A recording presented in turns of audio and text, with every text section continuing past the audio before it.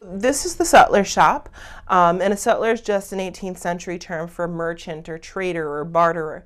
Uh, many of the sutlers that came out to this fort area were hired by the military in some capacity or another to keep up relations with the local Indians who were acting as scouts. So many of the items in this room are based off of items that were actually found here at the time period.